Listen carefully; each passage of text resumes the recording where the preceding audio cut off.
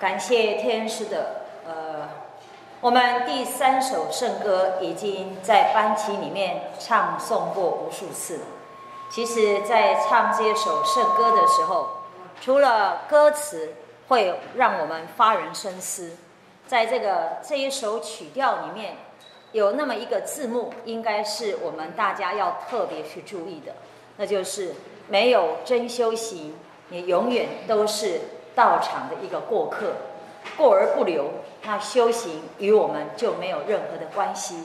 我们花费了那么多的时间，用了那么多的精力，也无非就是希望在自己这一生，我们选择走向修行这条路，而自己真的透过自我的一个努力，我们有一个具体的成效。但是在学道的过程里面，你第一个你要破的。是在各部经典里面，大家都耳熟能详的，那就是要先去除自己的什么一个所谓的我执心啊，把那个我执给它去化掉。我执在我们生活当中，P page 十九，十九，哎，我一共才四十七个。下面 OK，我们如果没有把这个我执去掉，在日常生活里面。往往会因为自己的主观意识左右了我们的看法，一些好事情都会被我们给什么给破坏掉，甚且因为自己的坚固执着，会形成了人与人之间的关系的一个紧绷。所以，我们走到道场的时候，你第一个学的就是放下自己的我执。在四十二章经里面，释迦牟尼佛说。没有证悟到阿罗汉的境界之前，慎悟性如意。不要坚决的、坚固的认为自己的想法是完全可靠的。为什么？因为在没有证到阿罗汉之前，都还有一个私我心的一个存在。所以我们想的，我们所做的，未必是能够符合上天的期待。或许早期在学到。看到这个所谓的去化我执的情形的时候，我就不断的问我自己：，透过我自己的一个回光返照，要怎么样能够让个人的一个我执，能够在最短的时间，让它能够消磨殆尽？我后来就归纳出了一个我自己的心得，那就是不要去做你想做的事情，要去做别人希望你做的事情。我们在家庭里面，我们在道场里面，不要只告诉我自己我想去做什么，而要去问别人需要我做什么。一个家庭里面有其他的组成分子，在道场里面，道场有这么多的一些繁杂的事物需要我们承担，不要把自己的意思放进去，那么我们的一切作为就能够合乎天心。合乎天心就能够符合人意。我前两天在南部，然后跟一些的同修道伴在聊天，我就跟他们传达这么一个意思：你想做的事情，即便是好事情，但那仅仅止于你想做，于他人而言，它未必是一个正确的事情。所以我们在学道的过程里面，常常叮咛自己。这件事情是我想做还是我该做？是我该做的，责无旁贷，我要一力承担起来，毫不退却。如果只是我想做的，你要问一问，别人需要吗？还是出于我自己本身，只是考虑了我自己的得失的一个想法，我才有这样的行为？所以，前贤们好好去思维一下。什么叫做想做？什么叫做该做？一字之差，天渊之别啊！在我们上课之前，跟各位前贤分享一个小故事。唐朝有位道宣律师，道宣律师他的戒律相当的严谨。当然，过去的这些的高僧大德一定都通晓经律论三藏。道宣律师的来历本来就不凡。他从小就勤学，好古人的道德学问。到十七岁的时候，他就发心出家。十七岁哦，他就想要走入的空门里面去走修行的这一条路。那他一路上秉持着他在家时的那种精神，所以没有多久的时间，他的道德学问就有巨幅的一个增长。那过去的修行人，他也要到各处去游历的。那有一次，道宣律师走到了五台山这个地方，他就看到了五台山外面的风景。哎呀，这个所谓的大树林立，对不对？然后山光水色。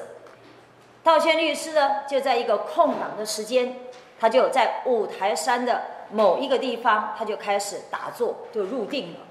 入定之后呢，那就有一位天人就来到他的旁边陪伴他。后来道宣律师出定之后，他就问这位天人，他说啊，经书上都在讲，五台山是文殊菩萨的道场，一个圣贤在这个地方住息，那这个地方应该要与众不同啊。可是我看起来也没有多大的差异。也无非就是高山峻岭啊，然后所谓的树木的苍翠，也看不出有什么的呃不同的那种仙风道气的味道在里面。他就问这个天童，为什么会这样子？这个天童就跟这个道宣律师就说，他说我本来是奉天地，天地有庙要来这边来巡查，来五台山来巡查。刚好看到您在这个地方，您也是一个大德者，所以我刻意在您的旁边为你来护法。那刚刚你问的这个问题，我就这样告诉你好了。在人世间，同一件事情，同一个道理，如果有三个人去看，三个人去听，他们从不同的角度切入，那么他得到的答案是不一样的。各位亲，这应该我们是非常有一个切身的体会嘛。有的时候我们悟的东西跟别人悟的不一样，到底哪一个比较符合圣的意思，那都有靠我们自己要去仔细琢磨的。他每一个人的看法之不同，那是因为每一个人他累世的业报不一样，所以呢，他的眼睛往外去看的时候，他得到的讯息就不一样。岂止是眼睛不一样？我们过去生积修所带的业报是善业多或者恶业多，它就让我们这一生，我们的六根在往外去发散的时候，你接收到的讯息都不一样。你看，有一些人喜欢听是非，有一些人喜欢说是非，有一些人喜欢看。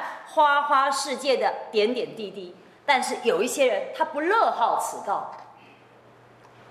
所以所谓的六根也无非就是你累世一个道德修养，最后在这一生所展现的一个一个成效而已啊。所以他就讲这个道宣律师，他说：“你看这个五台山的道场，好像没有什么特殊的地方，你看到的是高山峻岭。”那我看到的不一样，我看到的到处都是金光闪闪，那种亭台楼阁，是圣人在住息，还有很多的仙佛菩萨也来此护卫的。他就跟这个道宣律师就表达了这个意思。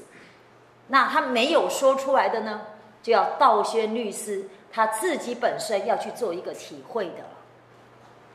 所以有的时候我们看我们外面的一个一个环境。我们看到太阳出来，哎呀，太阳好大，是不是？那这样的一个天气，出门不太方便。或者我们看天啊，天雨蒙蒙，哎呀，下雨天路滑，出门也不太方便。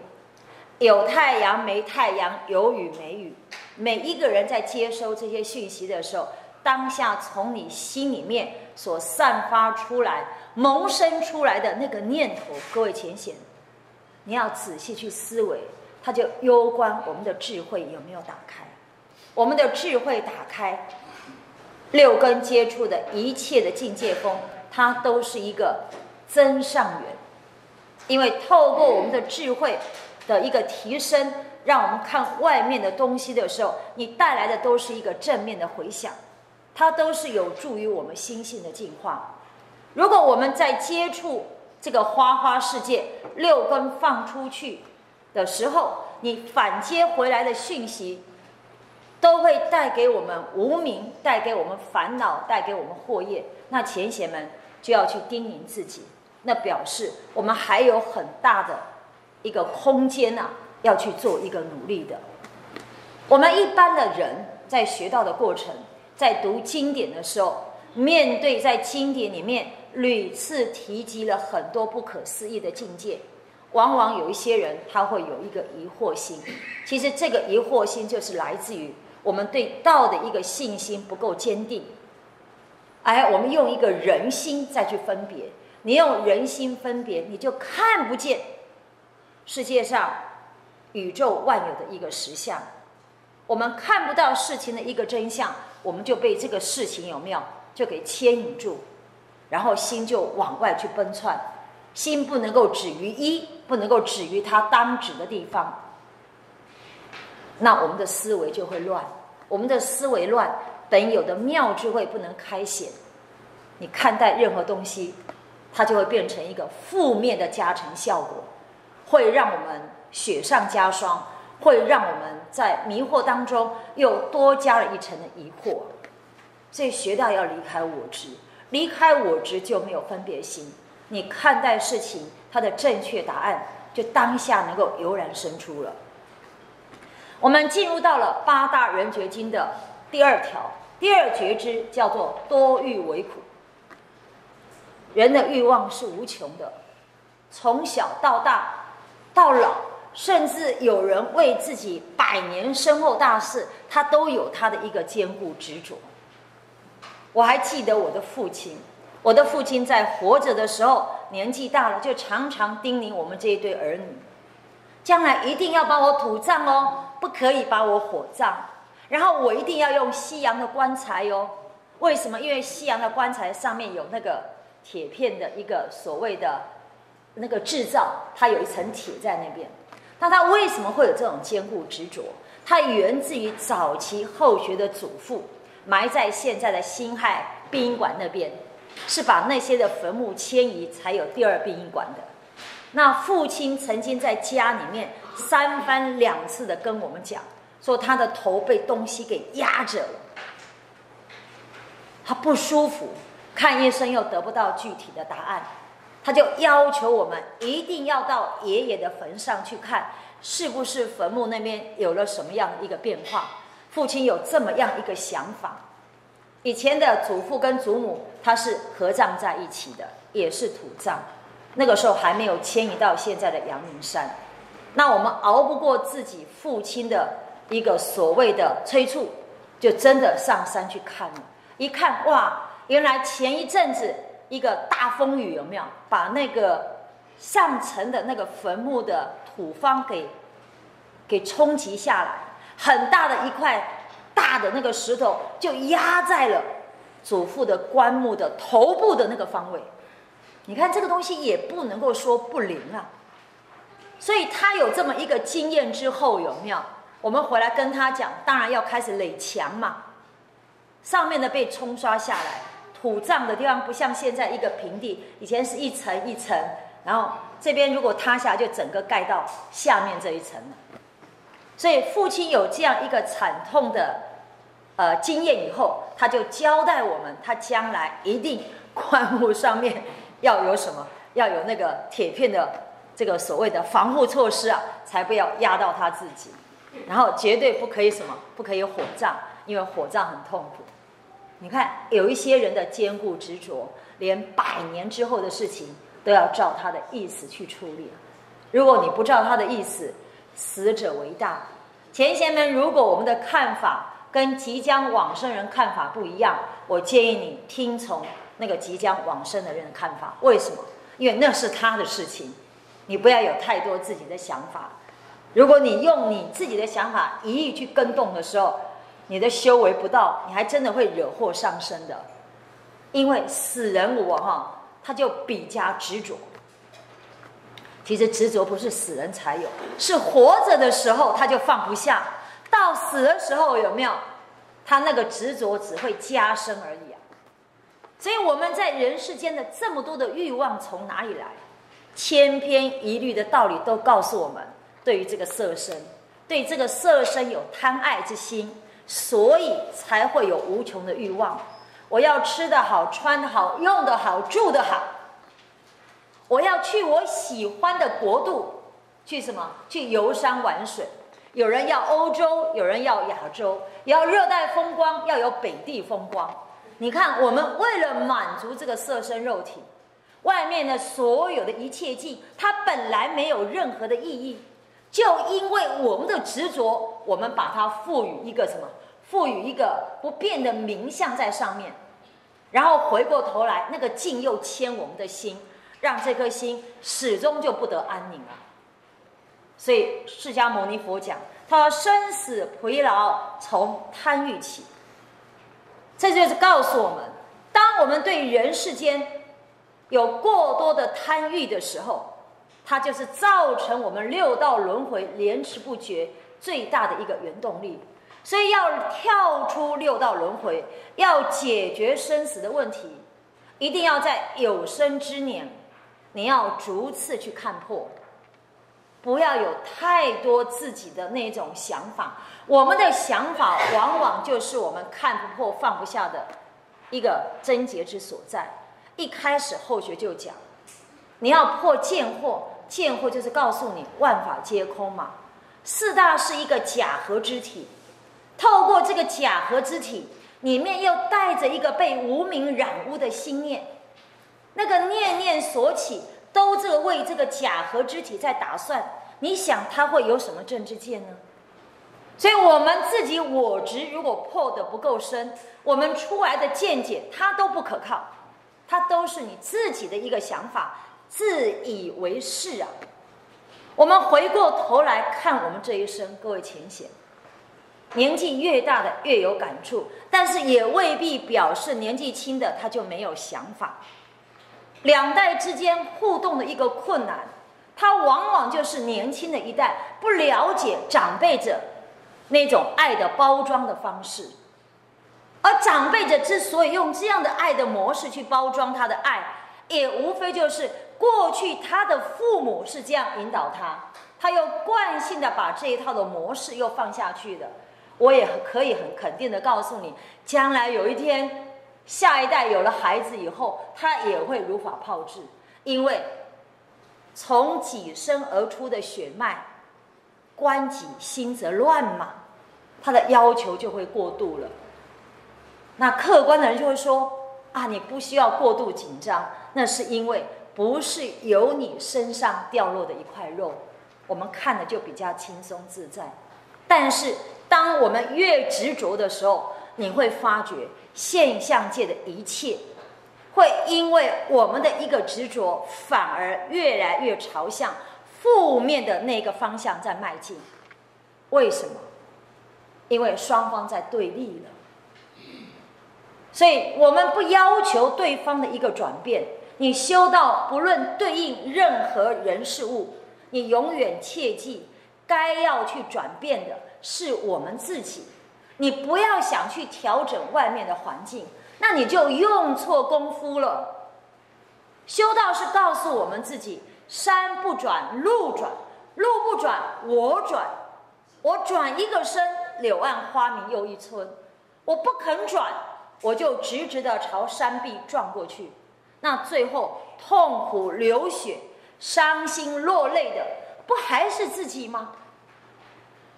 所以，如何让我们在学的过程里面，慢慢的在调整当中，我们提升了，那就是我们努力的方向了。所以，第一条是告诉我们，多闻为入道之本。透过多闻，让我们破自己的邪见，然后增长我们的正知见。那到了第二条以后，它就是来破我们的私货。我明白道理了，我要把道理在现实生活里面把它实现于外。私货就是我们的贪嗔痴慢疑。于我修道人而言，你贪求神通，你贪求留名。它都是一个贪字，所以往往我们修行，它会出彼坑，入此坑，就是我抛开了人世间的那种贪求之心，但是我掉入到道场里面的道名、道权跟道利了。我希望在道场扬名立万，留一个名声，让人家去追思。我希望拥有一个权利，我这边能够发号施令，让道场在我的运作之下能够道物欣欣向荣。每一个想法看似都没有错，好像都是为了道场在好，但是只要出于你自己的意思，各位前贤，它就不好，它就是一个毒药。所以别人调不调，不在我们的考虑范围之内。我们自己的修行，我们要去调。我们要去变我们自己，人的年纪越大，能够改变的机会、时间，它就越来越少。所以，如何让自己在最后一口气还没有喷出去之前，能够交出一个圆满的成绩单？那就是我们每一次聚在佛堂开班的一个什么？一个重点之所在。那不要贪求神通。神通是一个智慧的开展，我们不灭无名，所有的神通都叫做旁门左道。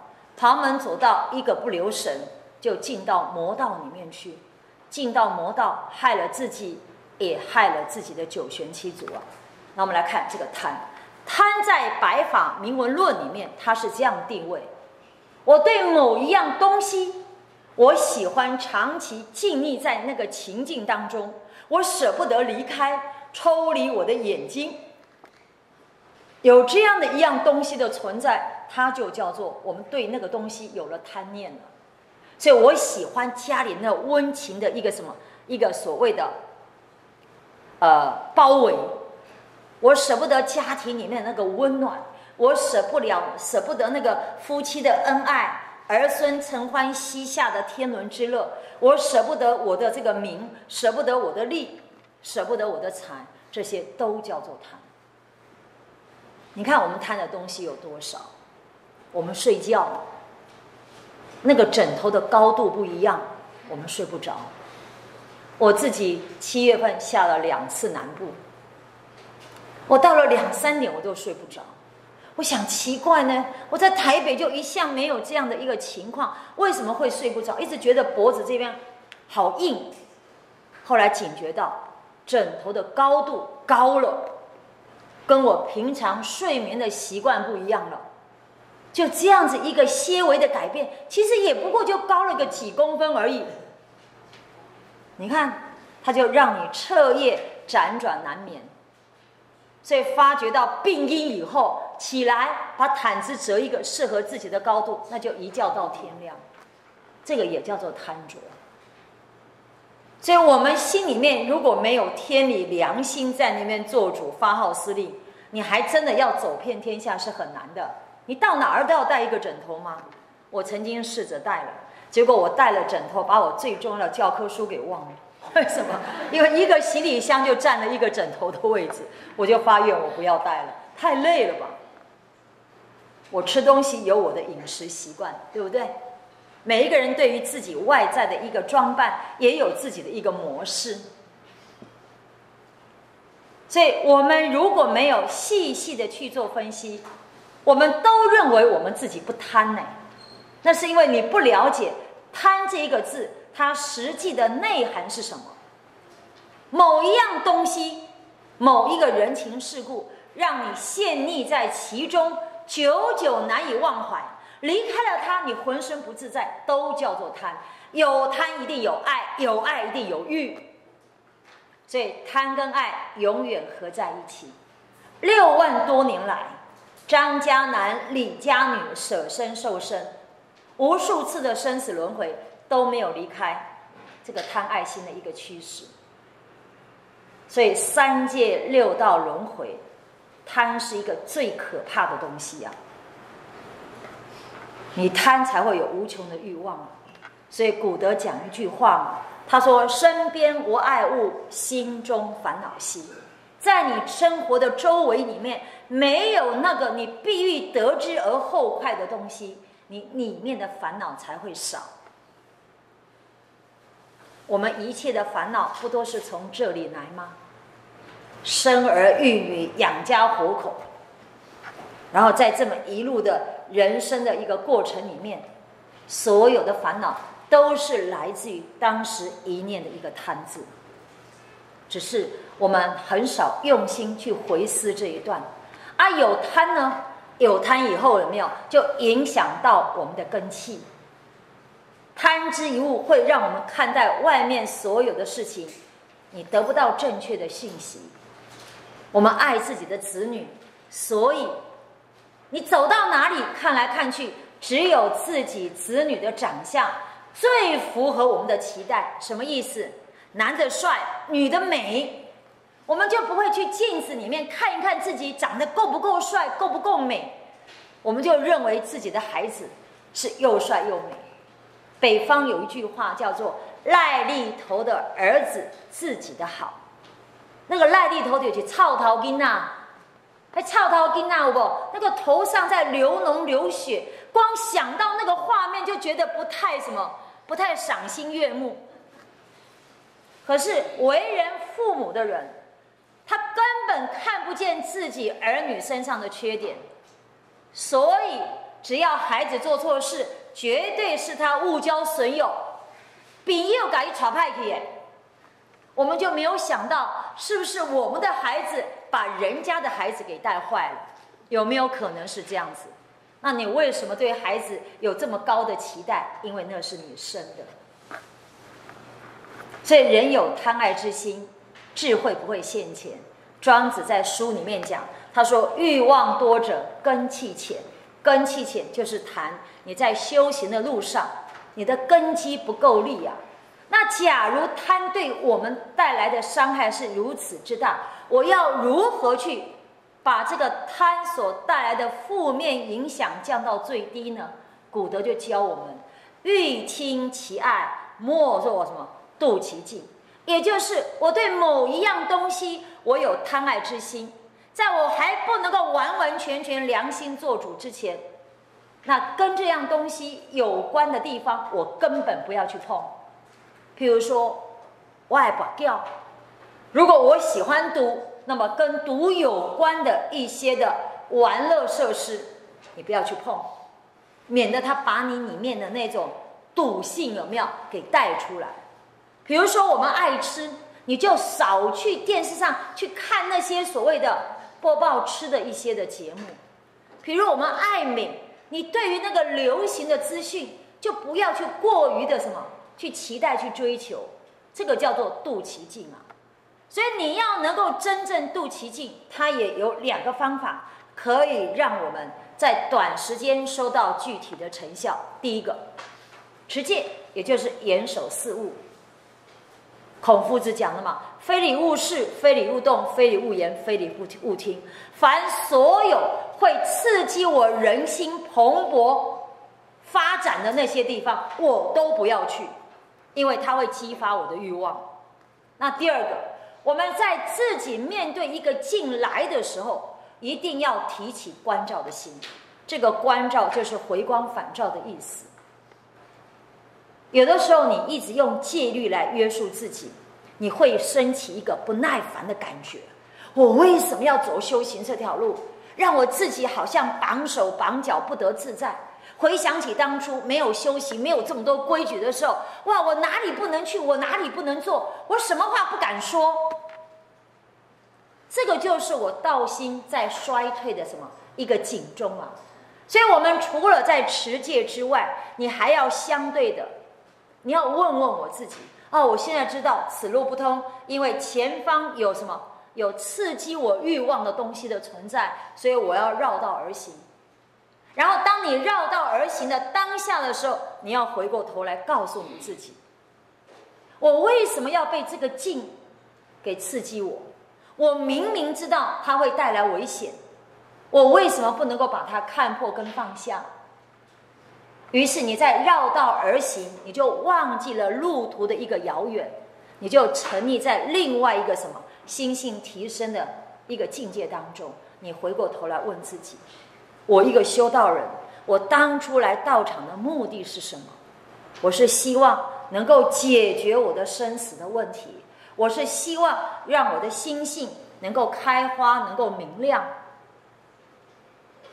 所以我为了要达到我最初的一个动机，我眼前所有为了修道而必须做调整的一些的功夫，那是必备的。所以你要常常回过头来问，回过头来问的时候，你就不会被外面所带来的那些烦恼束缚，有没有绑住了我们的道心，让那个道心它就不能够去扩展它的势力范围。所以不能只是单纯持戒。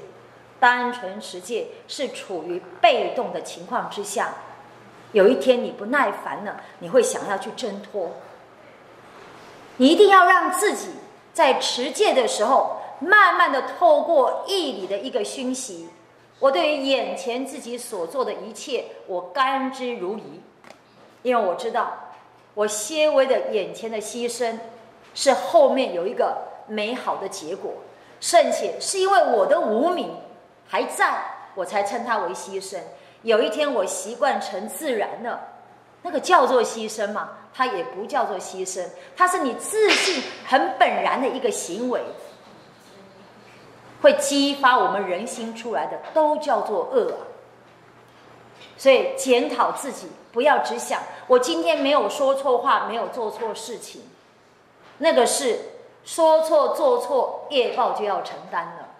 你要问的是，我今天有没有想错？我那个念头起来有没有伤害到我的良心本性？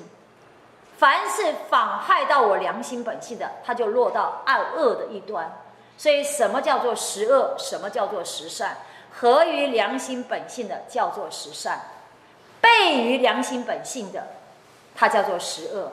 然后，心是一切罪恶的冤首，没有心念的带透。带动你的肢体，怎么会有后续的一些行为呢？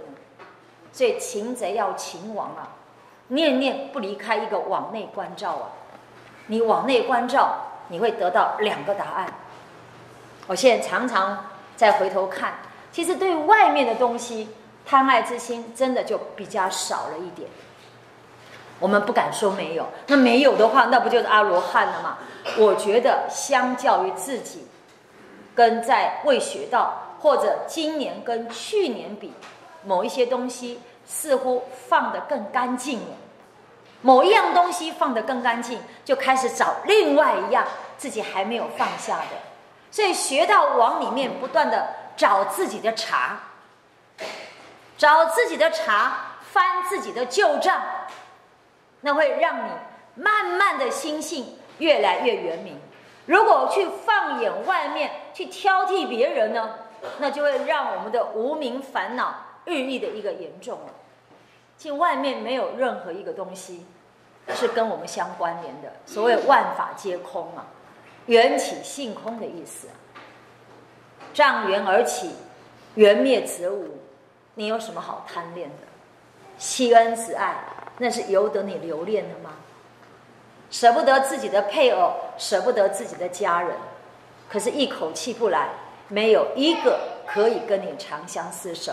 那是过去生有意无意播下的种子，这一生才有人我之间的一个相遇。结的善缘，这一生就和和气气度过了；结了恶缘，这一生就会有很多的一些的人我的一个冲突，会让我们的生活觉得很困扰。那不论好跟坏，都不要在那个境里面迷失自己。好的，它终归是昙花一现，成为过去。重点在于不好的，我要怎么让它能够去解开，不要种未来的恶缘呢？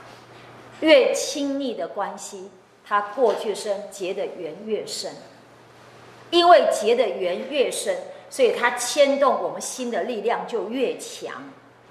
而跟自己越有关系的那个我执又特强，它是一个恶性循环，所以要处理跟自己越切身有关系的事情，反而要把那个我完完全全透过沉淀把它放下。所以现象界你看到的一切东西，你居住的环境，陪伴你的那些的人，你在物质上的一个享受。你看的这些的山川水色，它从哪里来？它是我们的心变现出来的。这个叫做一切法从心想生。那这一个空字，就是我们的空性的意思。我们如果是道心做主，它变现出来的就是什么？就是四圣法界。我们是人心在抬头，它变现出来的就是六凡法界。如果这个人心恶念居多，它就是三恶道了。所以，所有你周遭的一切的环境，你遇到的人，你接触的事，你现在可以享用的物，都是我们自己的心变现的。所以，如果我们好的比较多，坏的比较少，你要告诉自己，我怎么让自己会越来越好。如果我们遇到了一些困境，你不要怨，你要告诉自己，在我学习的这么多的道理里面。哪一个道理可以帮助我打开这个死结？所以一切的境都是帮助我们练心的一个工具，你就不会在那个境界变化的时候，你迷失了你自己。这样的一个功功夫，只要在日常生活里面你养成习惯了，各位浅显，所有境界风在吹动的时候，你不会问风从哪里来，你会问自己。我对于这一阵风，它激发我的想法是什么？那就有趣了，因为你每一天走到哪里都带着你自己呀，所以你能做你自己的主人，你就会让你的心纯净无瑕。我们如果做不了我们自己的主人，我们就随着外面的境，跟着他们走，我们就变成境界的什么一个奴才了。所以，所谓的情在物在，情空物空，那个情就是人心的一个作用。活着是你的，一口气不来，无一物是可以跟我们长相厮守。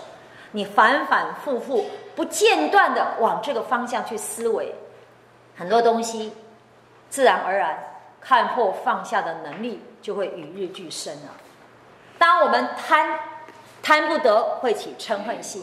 因为第二觉知是破私货，私货也无非就是贪嗔痴慢疑，这些都是我们老生常谈的话。可是问题听了那么久的道理，却因为落印的不够深，所以境界吹动的时候，还是依着本有的惯性在处理事情。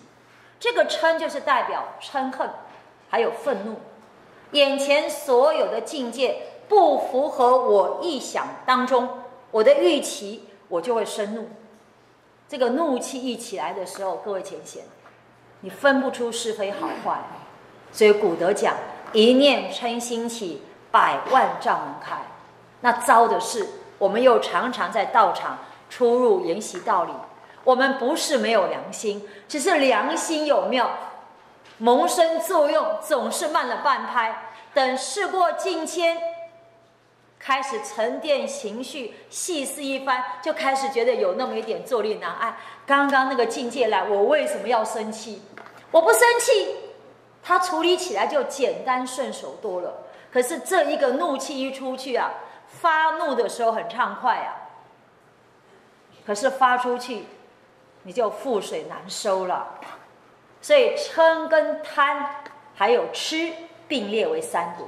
但是嗔所带来的伤害远远大于贪，因为贪最少还有一个正面的情况存在，比如说我们贪求希望自己能够多行功、多了愿、多度众生，希望自己道理能够早早明白。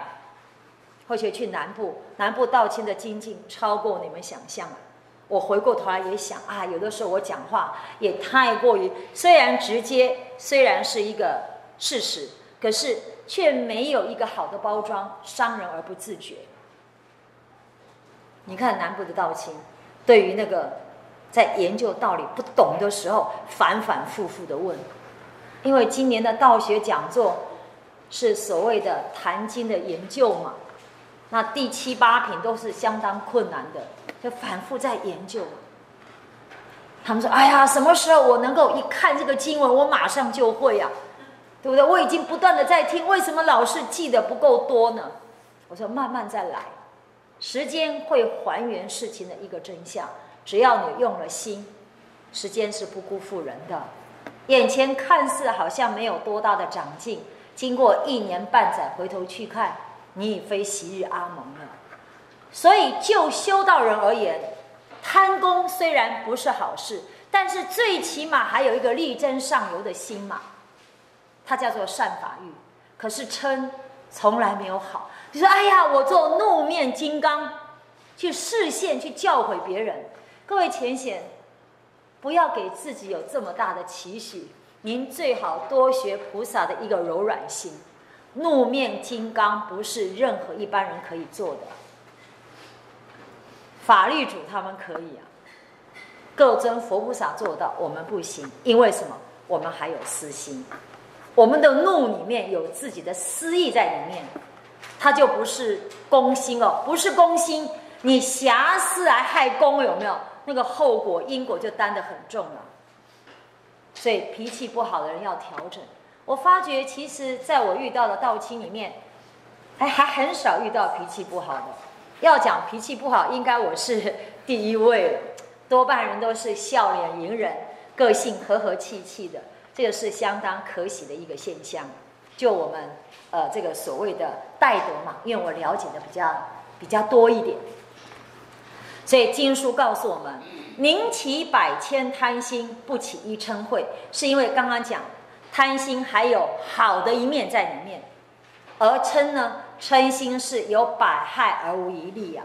修道人如果起嗔心，那你的智慧性智慧完全不会开展，而且会因为嗔心还会伤到别人。那我要如何解决自己易怒的习惯呢？第一个。还是没有离开自我省察，但是要自我省察有良好的成效，事先要不断的一个存养。所谓的存养，就是在日常生活里面没事的时候，把自己曾经听过的道理一条一条拿来去反问我们自己，这个叫做存养。不要今天我听完了我就放下来，下次再来我再听，然后我再放。这个听道理。听得很慢，放的速度很快，这就不是一个好的现象。你只要不断的用道理在往里面去净化自己的时候，这个就叫做自我省察。其实这个就是第一宝的功能之所在啊。我们在往里面醒茶的过程，你会发觉，其实会激动我们的心，让我们勃然大怒。它的一个真正的关键是指之所在，是我们的心量很狭小。我们见不得别人比我们好，我们听不得别人对我们的批评，我们容不下一点点负面的东西。假如一整天从眼睛打开开始到我们晚上睡觉，我听到的都是无数的赞美之词，我永远不嫌多。我不会觉得哎呀，我今天很浪费时间。你看走到哪里，别人都在赞美我，融会外洗干，我都没有什么增进。你不会有这种想法。可是，假如你今天一开眼，你走出门，或者没走出门，家里面就有人抛出善意的叮咛了，就来对我们有所讲评的时候，然后你出门又听到别人讲了两句话，可能你一整天里面也不过就听了这么两句些微的语言，对我们有什么有正面帮助，给我们谏言的，可能我们就觉得一整天，哎呀，太浪费我的时间，你的情绪都被这两件事情。给绑在那边，你只记得这个负面的东西带给我内心的一个伤害，你其他的东西都看不到。那是为什么？其实那都是自己心量小。我是因为我很容易嗔恨，我容易发脾气啊，所以我就看我自己啊，看我自己为什么这么容易易怒啊？我在不断的所谓的呃这个波斯的时候。就发现，它真正的源头就是心量小，所以以后我就懂了。修忍入行，其实扩大心量。心量不大，你才有忍入嘛。如果心量越来越大，包天包地，泰山崩于前，你都不动于色。为什么？因为泰山就在你的心量当中啊。你看我们地球这样不断的有地壳的变动啊，火山呐、海啸啊，对不对？天地何尝有动容？它纹风不动啊，它心量之广啊。所以，我们如果越些微的小事，都会让我们久久难以忘怀。它并不是外面带给我的伤害有真的很剧烈、很严重，不是。它是在在处处告诉我们，我自己的心量太小了。我让我们的自己的心量像一个眼睛揉不进一粒沙一样，所以你走到哪里，你都好像碰到障碍物。所以最后你就会体会出一件，一个不变的一个作用，那真正所有的错都是来自于自己。你心量小，那就是伤了你的良心本性嘛。因为我们的心量本来就是什么，就像天地一样辽阔，所谓的心如太虚一般嘛。何时让自己如此的沉沦而不自觉呢？那不是你自己的过吗？又不是别人叫我们有得侠心症的。所以你在每一个境里面这样去想，调整自己的速度就快。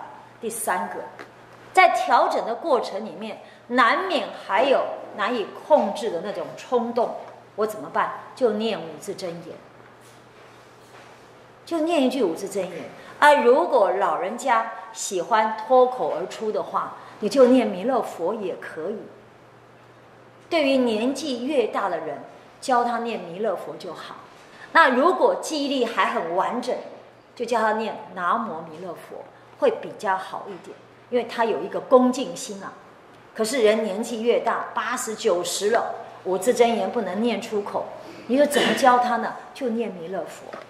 他如果弥勒佛念不住呢，就济公活佛，或者就把老母两个字一直挂在嘴巴里都没有关系。因为这个就像王凤言行录里面讲，他教人在收心的时候，他教人家念智意心生嘛，就那四个字，也就是让我们所有的心思集中在某一样。正面的事情上面，让我心无旁骛，它就达到收心的一个效果。所以我们也不用坚持。于你我年轻而言，你要习惯于去念五字真言，因为我们还年轻，对不对？那我们如果念习惯了，会让他我们的自信在那边自转法轮，不念自念，他就让我们的邪心妄想，他没有地方。可以脱身而出，他就不会引诱、影响到我们。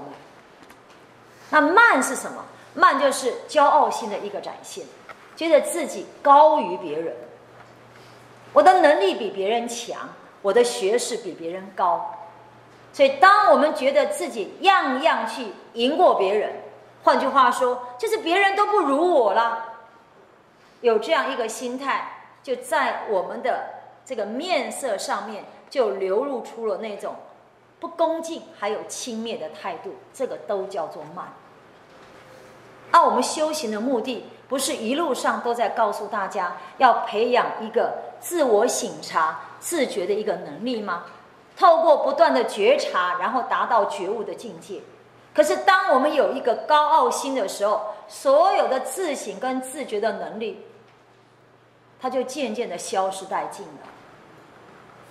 所以贪嗔痴慢疑，每一种私货其实也可以称为结。什么叫结？结就是我们要捆绑一样东西的时候，把它绑住的一个什么一个方法。我们如果有骄傲之心，这个叫做慢结。这个慢结就是把我们绑住了，绑住以后，我们就不能够得到解脱跟自在了。这边就讲一个窥基大师跟道宣律师的故事。这个道宣律师刚刚一开始，后学就跟钱贤分享过他的来历了。他是一个很精进的人，他的戒律严谨，所以能够感得这个天人给他送饭。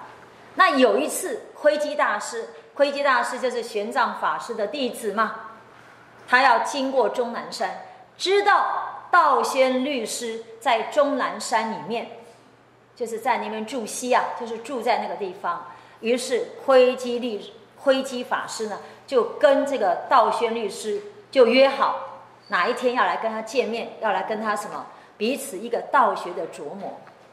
这原本是好事一桩，可是这个道宣律师啊，他就心里在想，他说这个窥基大师啊，一直在研究这些唯识，所以学问这么渊博，到处受人准仰，那可能他的戒律就不够严谨。他心里就这样想哦，他的戒律论三藏好，可能他的戒律不够严谨呐。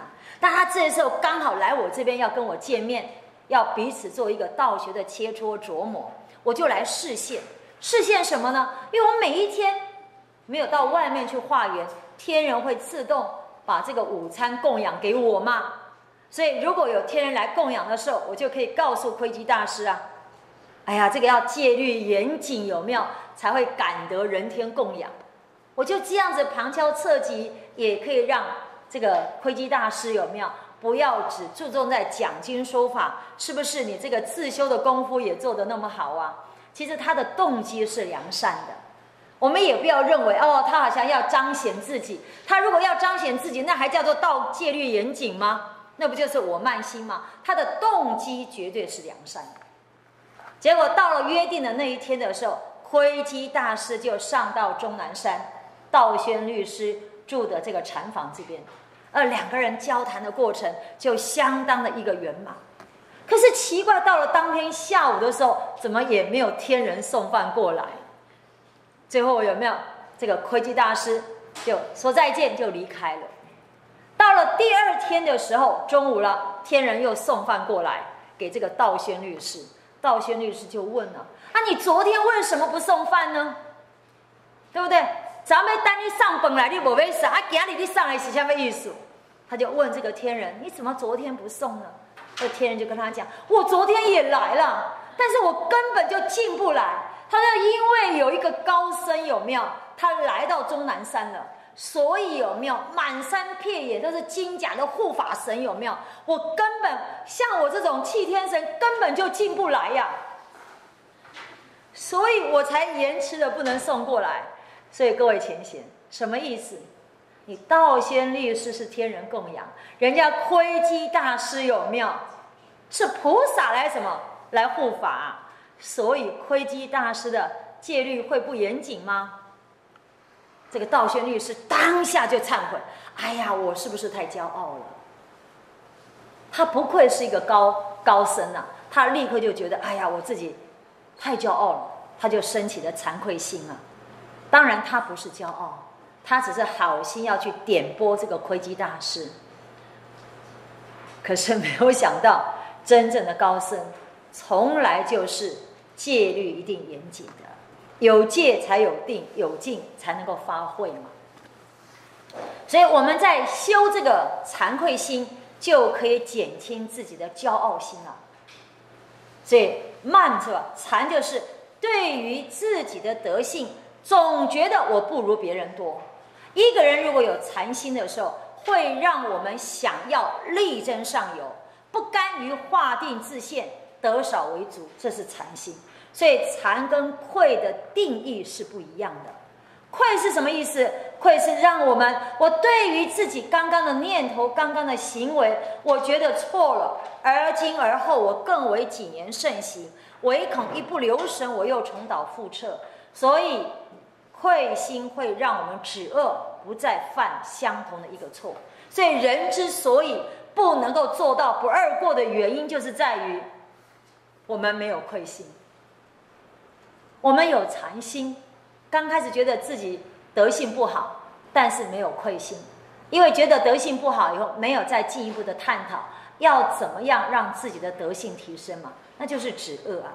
所以谭旭大师曾经讲过一话一句，他自我修行里面的一个要求，他说：“恒以惭愧水洗涤懈怠心，在二六十中，总觉得自己不如人。”你看，我们近代高僧印光大师，他也说过这么一句话：他看所有众生都是菩萨，唯我一人是凡夫啊。而我们人之所以骄傲，是我看你们都是有情众生，唯我一人高高在上，德性圆满。所以我们看的角度，我们看到的一个结果，为什么会跟古德差的那么远？那就是我们修行它难以去大幅跃进的原因啊。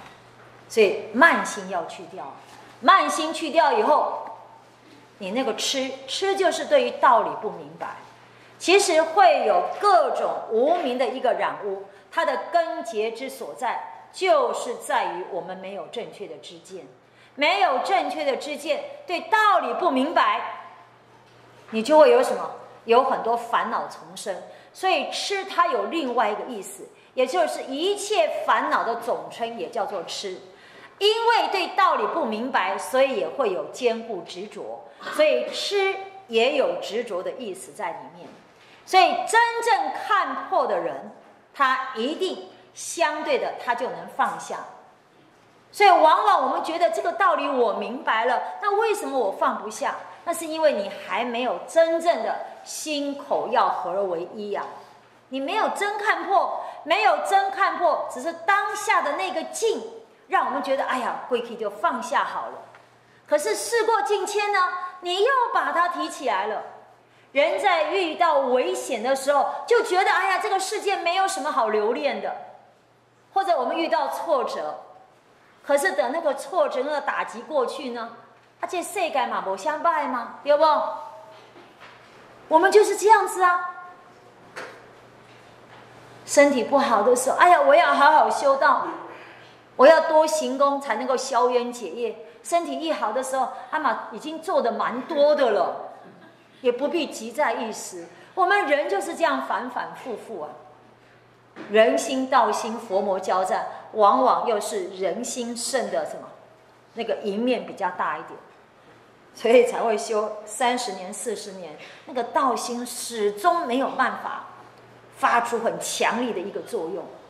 它有很强烈的作用，它就会在一切境里面，它不断的叮咛你，看破跟放下。于是你就不会被被境界风去带动我们的私货嘛？那我要如何破自己的痴？其实还是一三不离，一三不离之外，透过三不离，我们博学、审问、慎思、明辨、笃行，这五步功夫缺一不可。你要把它减少为三步也可以啊，因为释迦牟尼佛讲三步嘛，闻思修啊。那这个思呢，就代表什么？代表审问、慎思、明辨，那不也一样吗？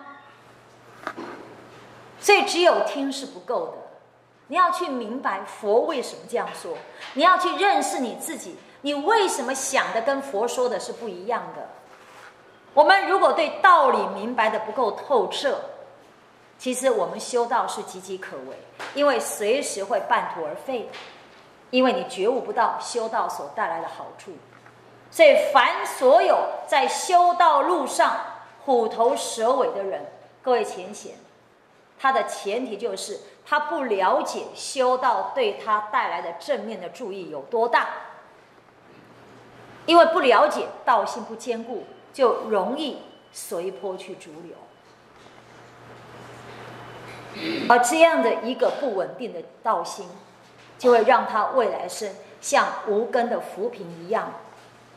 于是这一生修道，修了多少，未来生有一些福报，下一生把福报用完了，又回归到原路，到最后就连这个人生我们都保不住了。所以这是第二条。要跟各位前贤分享的，那时间上已经差不多，我们剩下在下一堂课再跟各位前贤探讨。感谢天师的，谢各位前贤。